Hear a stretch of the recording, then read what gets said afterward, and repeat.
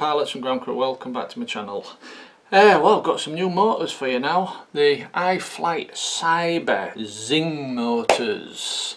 The 2207 1777 kV, which is the sweet spot for 6S lipos.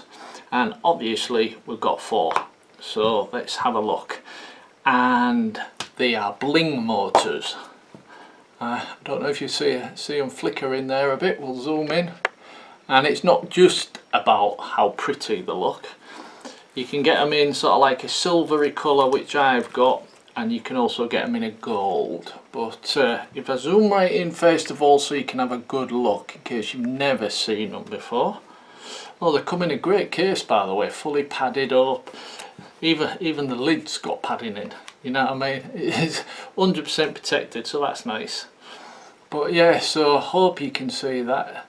If I hold it that way and just turn it there's not much light in here but nice and shiny and sparkly and uh, zingy right? But it's not just about the zing right? It's about the actual motor itself what it can do what it's capable of and everything else. So let's just talk a little bit about the specs. I'll go through it quick because I know a lot of people get bored with the specs and they just want to see the flight. Because at the end I'm going to whack them on a model and give them a test flight. So we're using high strength 4mm titanium alloy shaft right and as soon as you hear the word titanium you know it's strong. Right uh, let's see. Uh, they're coming at 34 grams each so maybe they're a little bit heavier than some motors but uh, it's got increased performance.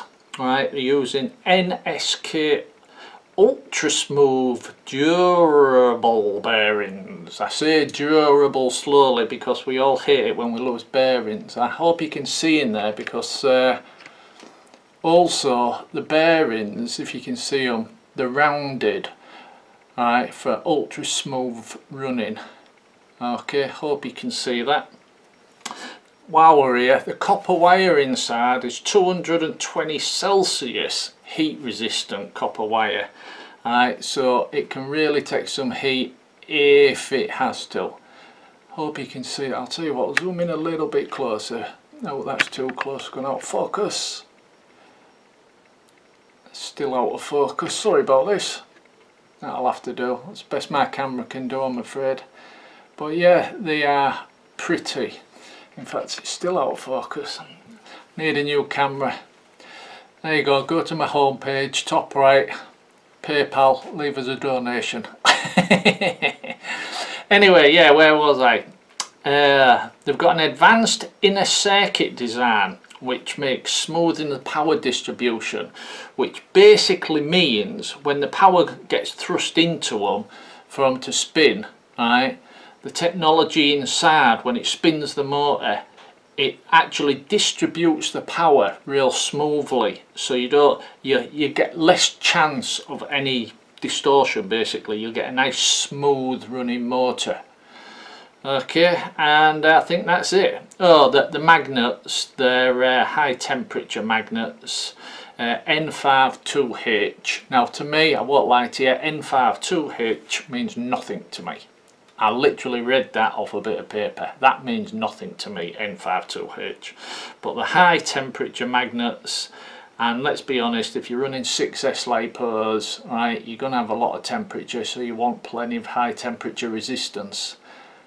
And there, there you go then. They are pretty. I wish were, I should go get a torch and shine it on them because uh, yeah, they're pretty as well.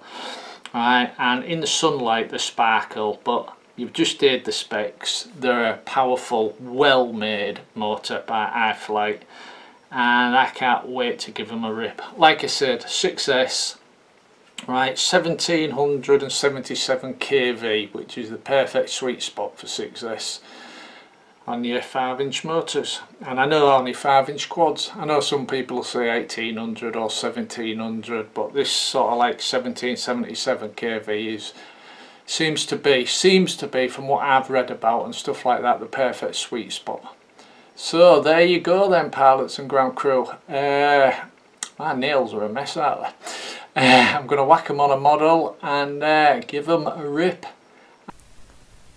Right, just before we head to the field, something I forgot to mention to do with the motors. It, it's the nuts. It, it, might be a simple little thing, but uh, you don't have to use any Loctite with them. What iFlight have done, they, they've actually put like a, a, rubber type seal. You can see it in the picture, but it's like a rubbery seal on the nut. And as you tighten the nut onto the motor, you can feel it biting. Now, it's only a simple little thing, but at the same time, it saves a lot of time. We all know how messing about it is, how much messing about it is, I should say, when you're putting the Loctite on and everything, and you don't have to use any with these and I thought yeah bloody good idea. I wish all motors came like this because it really made life easier and it really does lock the motor in really tight. Anyhow I just thought I'd mention it. So uh, right let's get on with the video get to the field and let's test these bad boys out then. Roll VT okay then. Right for purposes of testing the motors, I've took them folding props off, right, because they just didn't have the pitch to give them a good blast to test the motors out properly. What I like to do with all new motors is what you'll see here. Take off, obviously, goes without saying, give them a quick blast, right, not too much, don't go too crazy, but then I like to land, which you'll see in a second, and then just test the motors see if they see if they've got hot in case me notch filtering's wrong or something like that just to touch the motors and check they haven't got hot or anything before taking off again. That's why I'm landing here for a quick second then I'm going to take off again. However you don't need to see all that so we'll just do a jump cut.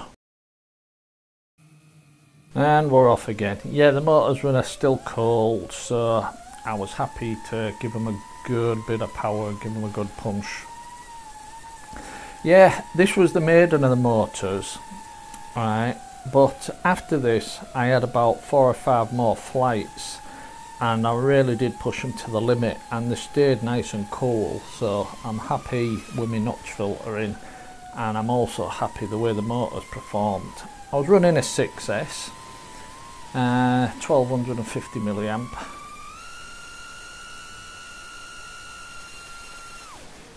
That punch out there, well, well not exactly a punch out, but that blaster power there, right, uh, took me up to about 80 mile an hour. And I reckon if I'd have had more room, it could have gone faster. But yeah, these motors are awesome. I'm really happy with them. And yeah, they look nice, but uh, the specs and the performance. So I'll be sticking with them and if I need any new motors it will be these.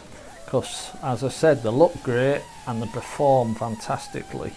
And with them having that sweet spot of 1777 kV they really do seem to balance well. But I don't think they do as good with them foldable props. But them foldable props are alright for standard freestyle. And there you go just a quick little jump cut because uh, that flight lasted about another well, couple of minutes or a minute and a half or something like that. And that was enough for you to see the motors. I give them a good punch and as you can see there on the screen 80 miles per hour. So yeah they're bloody good motors. So there's a link in the description if you want to get some. And I've wrote down everything I told you about the specs I basically copied it all down so there's loads of information in the description as well. Okay then pilots and ground crew, I'm going to leave it there and thanks for watching. And if you're after new motors and you want to spend a little bit more rather than a standard cheap cheaper set shall we say there's nothing wrong with the cheaper sets uh, I've been running them uh, Emax Ecos for a while and decided to step step up a bit and these are bloody bloody good motors alright then pilots and ground crew. Well leave it there. Thanks for watching and cheers